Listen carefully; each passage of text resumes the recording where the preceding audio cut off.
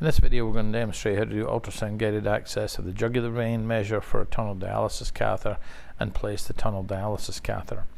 Uh, you can see this patient has a previous catheter. We're going to try and route the catheter, the new catheter on the outside of that uh, puncture site. First thing to do is we always use ultrasound um, and the ultrasound shows the sternocleidomastoid superficially, deep to is the jugular vein and deep to that and lying a little more laterally is the carotid artery.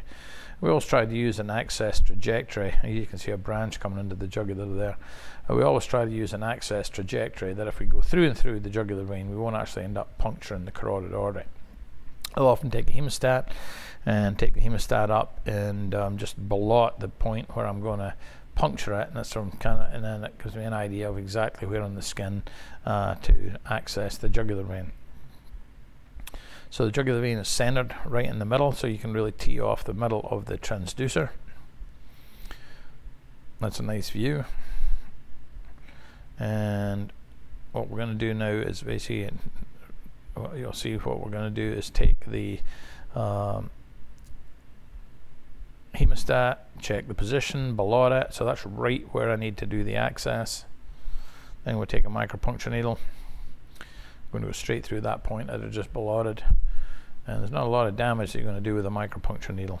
Ideally you see it go right in and compress the anterior wall and then puncture. Um, here I've not done the greatest job because you really like to see the needle as it enters the jugular vein. Um, but venous return is the surefire thing that you want to see. We've got venous return here. Next we're going to take the um, micropuncture wire the micropuncture wire should pass easily. There should be no resistance. If the patient is awake, it should not hurt. As long as your endoluminal doesn't hurt, if it hurts, uh, then you're in the sub-Q somewhere. So we're going to take the needle out, and the next step is to bring in the fluoroscopy. So you're going to bring in the fluoroscopy, and you're going to fluoro that and make sure um, that it follows the trajectory that you expect to be. We typically want to place these about three centimeters beyond the cavo-atrial junction. So just checking the entire path here. Now what we're doing is putting hemostat on the skin. Uh, gives you some idea of where it should be. This is probably a little bit more deep uh, into the atrium than you would want, but this is now a skin marker that you can measure up to the access point, so you can get a pretty good idea of what the length is that you're going to actually utilize. We'll go over that in a little more detail. So again, here's how we kind of start. You can see the previous access point um, the wire. We're going to skip forward. we've already got the wire access in. There's that hemostat we're looking at, and now we're basically just measure with a ruler, you know, from the access point all the way down to that gives you an idea of um, the the length of catheter we're going to utilize. We can also measure from there on down to the counter incision if you want to be real accurate. Uh, and typically, I think it was a 21 centimeter um, catheter that we actually used in this situation. Okay, so that's the dilator for the micropuncture wire it's going to go in again. It's important um, to dilate both the access point and the counter incision. One of the more common mistakes is you, you, they're, they're, too tight. So here we're opening this up using an 11 blade, and then we'll take a hemostat and spread spread on that. We've replaced, of course, with an 035 Bentson wire at this point. Actually, it's the wire um, that, that, comes with the sheath. And you can use an 035 Bentson wire.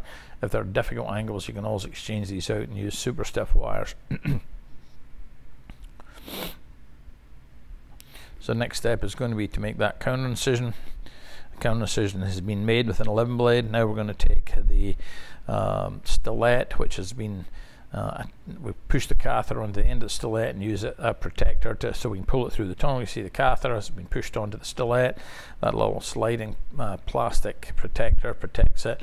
Again, we haven't made the, the skin incision big enough, so we're going to have to come back and uh, dilate that a little bit.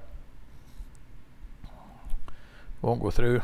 This is the hardest part of the whole procedure, is getting this, because it's not easy to direct these stilettes because they're kind of slimy. You're going to see that um, it won't go through. We're going to have to back it out a little bit and make that incision, um, the access point, just a little bit bigger. Too tight, can't pull it through. Back it up.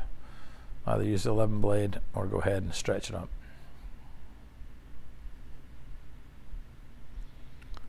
And then it's going to come on through. Now when you pull it on through, I always pull that cuff up to almost up to the and the, the current incision, the access point where the wire's coming out. You can always pull these catheters back. You can't advance them very easily. Now we've taken that protector off and the stiletto off, the catheter's just kind of sitting there.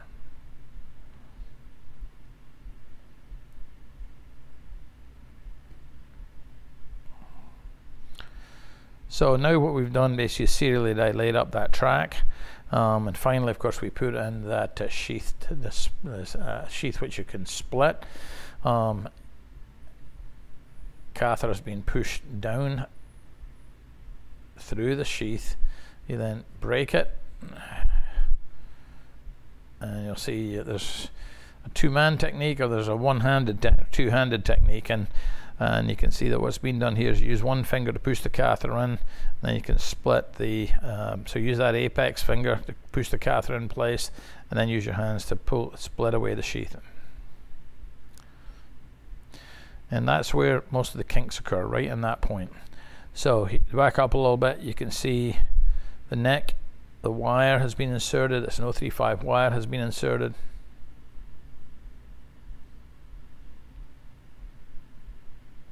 dilating it up.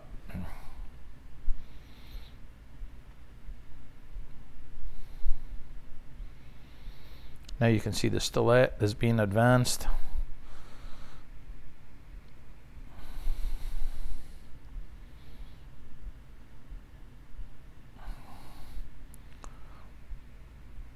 Routing it around the old exit point you can see the protector on the end of the catheter. The catheter is pushed onto the end of the stellate. We're having trouble getting it to come out through the access point. So we, we end up backing it out, making that entrance point just a little bit bigger. Now we've got it out, but it won't come through. Rookie mistake. Back it up, dilate up the skin access point just a little bit.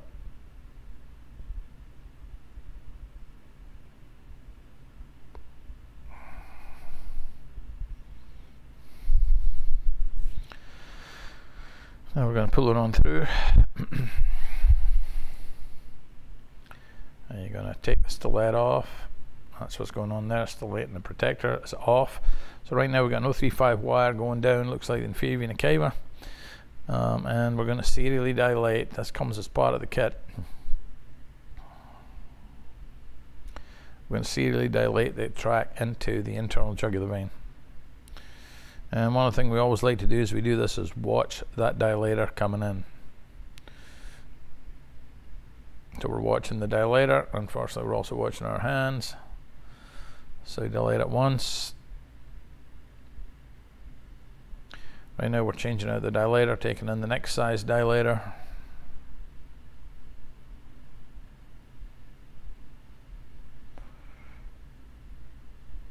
Ready to go live in the fluoro again. Let's run this forward a little bit. Again, coming in again. You can see it now again. If you're putting this in from the left side, this is absolutely critical um, that you don't jam this right through the right side of the superior vena cava. Okay, so now we've done it, we're, we're going to switch back and now we're ready to put the, um, in fact I think I just missed it. So what we're going to do now is put the sheath in. In fact, I think that is the sheath that we just put in. There's the sheath, basically it's in it. We take the trocar out the middle of the sheath. It doesn't bleed. That's the nice thing about the new ones. They got a cuff in them. And with catheter advances fairly easily down that. And then as we've kind of already shown, you can um, you keep index finger on the tip of the catheter and you split the two wings um, of the sheath away from that.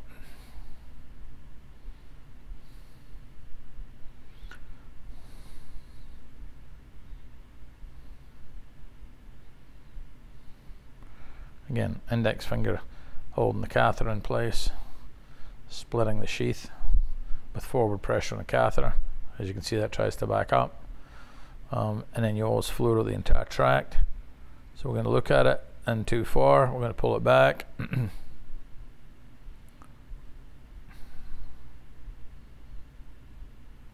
Pull it back into nice position again. That's because we put the cuff all the way up. And typically as I'm pulling these back I will hold it at the uh, access point put a finger on it there and pull back. You just don't want to pull that cuff all the way out through the skin because again it's just hard to get it back. That's the critical part right here. Always got to fluoro this and make sure that there's a nice curve. This is the most common reason that these things fail is really because of um, a kink that occurs right here. And then you aspirate both of these to make sure it works just fine okay? So now we can see so now what we're doing is we're aspirating these the the, the uh, ports should aspirate real easily and freely. That's just regular heparinized saline flush. This is not uh, what we pack it with at the end of the case. That comes should come up from pharmacy. It's a certain it's a high concentration heparin. It's um, that is given in a volume specific for each of these ports. All right, so that's kind of what it looks like. Uh, we'll, we'll, go one over. I think this is we're going to show you in a little bit more detail here, um, sewing these these catheters in, two through the wings, and usually we put run one racing around the shaft, and then uh, put a dressing on top of this. And then don't forget to pack each of the lumens um, with high concentration heparin. You can see the, the hubs have been applied to this already. So there it's in place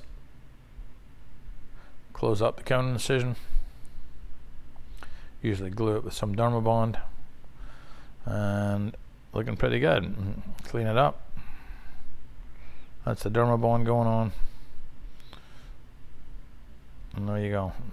Put an occlusive dressing on it before we send them back to the floor. Thank you